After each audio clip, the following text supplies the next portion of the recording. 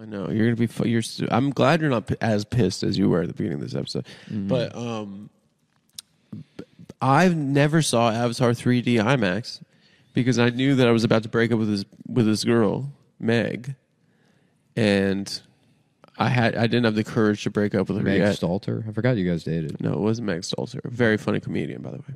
Yeah. Um, no, but I I didn't look, I didn't have a like Maybe that's out. what's that should be next for you is big fat woman. What do you mean girlfriend. next? That's my that's my life right now. Yeah. You know I'm with a loud type of big bitch. No, you're not. I know she's not at all. she's a lovely, beautiful woman. Yeah. Um. So no. Anyway, so You know, I- everybody knows our style. We go on a double date. We're sitting at the table. That Mm-hmm. entire table's weighing fucking combined 185 pounds. yeah. Yeah, No, that's not that's not our style. and we all share. We all share one big noodle. we all just suck around the noodle disc. dude.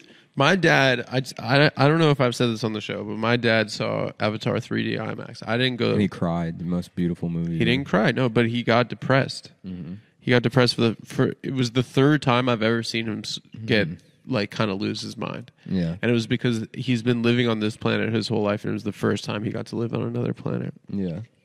And then the movie ended, and he wanted to go back to Pandora and be with the Na'vi. I, I truly thought that was one of the gayest movies I've ever seen. I didn't enjoy a second of it.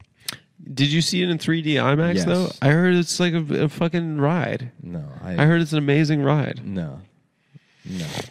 I I want to I want to see it, dude. I never got to do it because that you know girl what's an Meg. amazing ride? The Tower of Terror, Yeah, Disney World. is it? Scary. It's not that scary.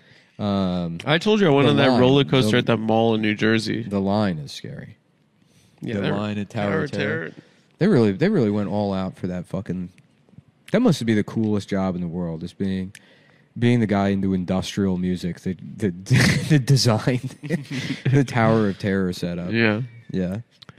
Yeah. Just some guy getting Trent Reznor. Yeah, some guy get some guy with colored contacts getting autistic pussy in 1997. It was Wes Borland. yeah, Um, no, my dad got seriously depressed, dude. Yeah. That avatars are. He was one of those people. The, Yeah. the V thing. Eh, the- you know, the first two times I saw him Mm-hmm. like that. First time, O.J. Simpson. Really. He thought he was like the only. He thought that the way the world had set him up, Mm-hmm. the white police officers also set up O.J. Simpson. Yeah. My dad was an O.J. innocent guy. Well, that's funny because there's a lot of like boomers. Will there's boomers will they remember like the the two months in their early years where they maybe went to a protest or something, and then they're like they get Mm-hmm. Yeah, to they the think end of we their tried life. to make a difference. Yeah, right. Yeah. They get to the end of their life and they're fucking we were revolutionaries, man. Yeah. No, you just fucked without a condom. Like, Yeah, yeah, right. You fucked some girl with a nasty smelling pussy. Yeah, You put patchouli oil on her and fuck some nasty yeah. bitch. You got patchouli hole. You got some patchouli puss. You got a bunch of you fucked. You got a a- little bit of patchouli puss. Yeah, you fucked a pussy that looked like a like a Thanksgiving table decoration.